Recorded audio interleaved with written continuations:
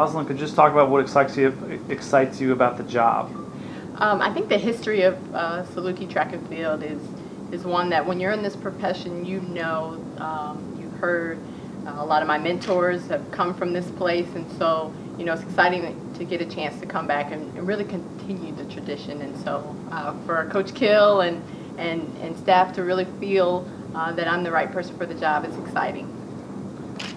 You know, you, I understand you knew John Smith. How did you hear about the job? Um, I actually, uh, John Smith was a, a, coach at Ohio State when I was a student athlete there. Uh, did a lot of my strength training, so people say, I survived John Smith. Um, but he was one that's really just kind of stayed with me through, um, you know, my career. He recommended me for my first sort of coaching position. As I've been back where I am now at Ohio State, he's always called, checked in. He, he's texting me as I'm walking into the building, like, "Are you are you on campus yet?" So he's really just kind of um, kept track of track of me without um, trying to tell me where I should go or, or, or what I should do, but really just supporting me. So um, you know, I think when the opportunity came up, uh, his wife Connie, I'm sure, made a call and said, "Hey, what do you think?" And I thought, like, wow, that's that's an awesome opportunity. You know, what have you done in your career to prepare to be a head coach? Um, that's a great question. For me, I've enjoyed doing sort of every step of this journey. I was a student athlete and I really like to learn. Even as a student athlete, I was a camp counselor. So it's like, how do I get to teach? How do I get to mold? Let me understand the sport.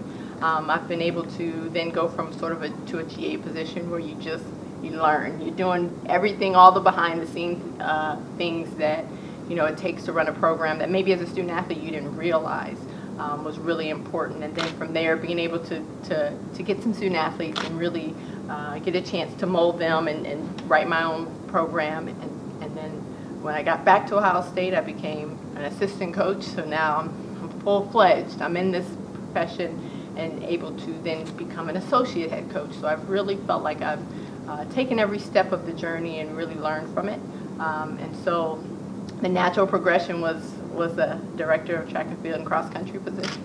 Obviously, you know the, the, a little bit about the history of the program here, but um, you know with Olympians and, and, championships, how do you plan on building on, on that success? Well, I think the name is already there, and so for me, I didn't go to school here. I didn't, but I know Saluki track and field, and so you know for me, that's a big selling point. Reach back out to the alumni, get them excited about what you know we, we're trying to do next, and so really building on the name that's already here. I I, I don't plan to create anything new. Uh, I want to want to go with the tradition of the program and, and, and build from there. So create the buzz from the alumni and the people that have come come through here and who are really excited about um, Saluki Track and Field. I'm sure Jerry will give you every asset you need to be successful, but coming from Ohio State, one of the top three, if not number one, largest athletic department to, to Carbondale, what do you think will be the biggest challenge for you? I'm, Coach Kill is a recruiter. I told him that every every step of the of you know of the uh, the hiring process, he really pursued me in a in a manner that uh, we were going to make track and field a priority. Uh, he was going to give me the resources and the people, and then he was going to surround me. And so the facilities are great. Um, the vision of the program and the vision of the athletic department is great. Uh, the history here is great. And so for him to come in and say that that I was a missing piece was really um, was really exciting for me because I could see and feel that this is an important important sport here at. Um, at Southern Illinois. So, you know, the challenges, um, I think anywhere you go, you, you got to come in and find out what you're missing, how, how do I fit, what are my strengths and weaknesses. And so I plan to, you know, get in probably in the next couple hours and, and start to figure all that out. But i I definitely don't think that, um, you know, there's anything that can't be done here. And for me, that's part of the challenge. I'm ready. Did, did you recruit mostly jumpers or a certain geographic area, or what kind of areas did you recruit at Ohio State? Well, I, I am a jumps and multis coach, but being when I actually first got there, I was the field coach. So throwers, jumpers, vaulters, um, sprinters, hurdlers. I did a little bit of everything. Um, and being a multi-coach, you coach a little bit of everything. And so for me, um, my my biggest recruiting tool has always been to go get talent. Um, wherever they are, wherever whatever event they may be, go get talent uh, people who want to be here, people who fit kind of the, the vision of the program. And so, you know, there's no really certain thing I'm looking for. I'm looking for people that want to be here, who want to grow and get better and, and win. Do you still plan on coaching the, the multis and, and the jumpers? I, I'm looking at that structure now, but yes, I mean, that's kind of, I was a long and triple jumper myself. I ran on some relays.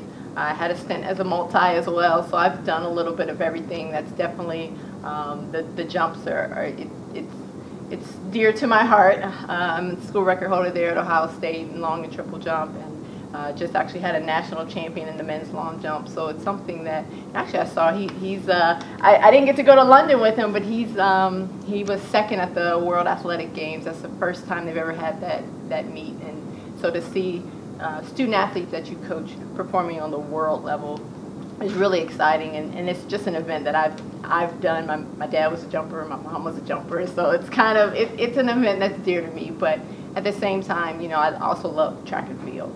So I'm, I'm able to coach a lot of different events, and, and I want every student athlete that's here to be better. And so whatever event that, that I need to immerse myself in, I'm there.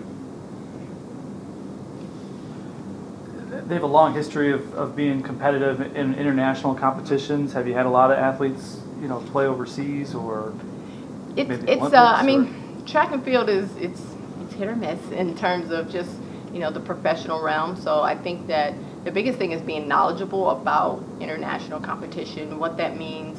Um, like I mentioned, John and Connie, they're really big to, you know, USA track and field and the professional side of the sport. So um, if, if we have student athletes who want to pursue that, that we have the connections within our staff to make sure that they're able to do that. So, um, you know, some student athletes don't want to be a professional athlete, and that's fine. They want to come, they want to win conferences, they want to mark their name in Saluki history. Um, but then some do want to go on, and that's something that uh, for each student athlete we'll evaluate and we'll be able to, to help support them in that journey. You majored in human ecology? Can you tell me what that's about? so funny enough, that's human ecology um, is child early childhood development was kind of the specialization. I thought I wanted to go on and teach third grade and possibly be a child psychologist.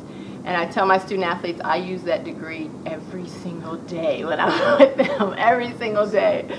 So a lot about development, a lot about life cycles, a lot about you know the progression of people. Um, and so for me, it sounds like a major in you know sciences, but that's what I've been able to really um, use in my coaching style is, is realizing that everyone comes from different backgrounds, everyone has different life cycles and progressions um, on the track and off the track, and so um, meeting the student athlete where they are and trying to find out how to help them grow.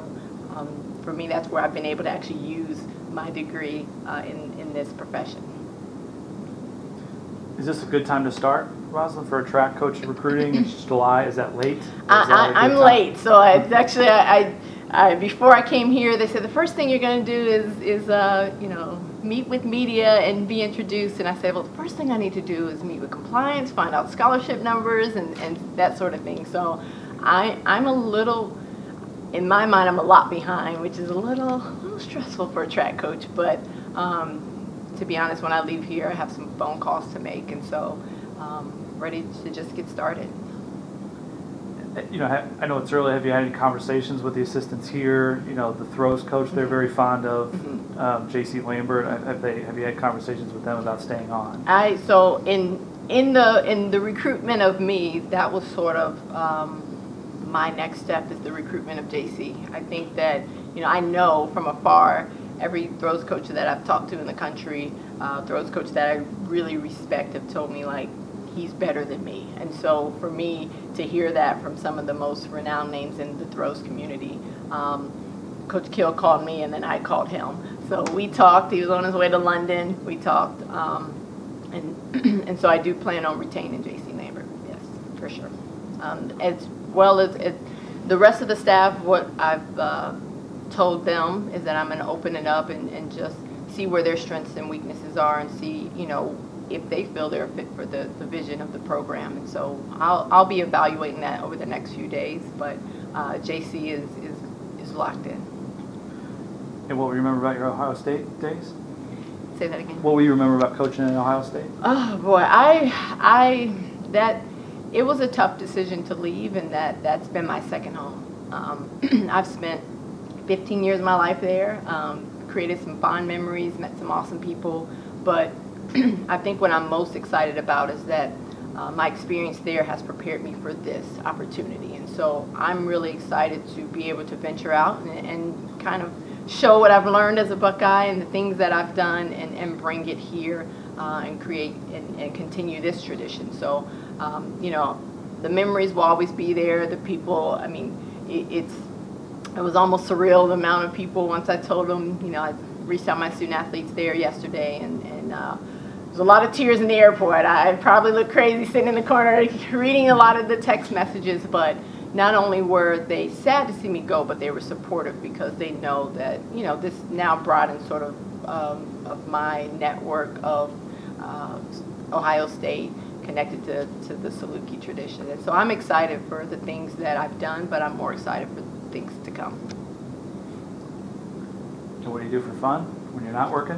Uh, well, I have two children. So, uh, eight-year-old daughter Gabrielle, three-year-old son Harrison. Um, we're we're we're just go outside and play family. So we turn on the sprinklers. We you know we, we play dodgeball. We um, so for me, I like to just try and enjoy family. That's what I do. I, I spend a lot of time on on the road, and so if I get a chance to just go home and you know fire up the grill and be in the backyard, that that for me is a vacation day.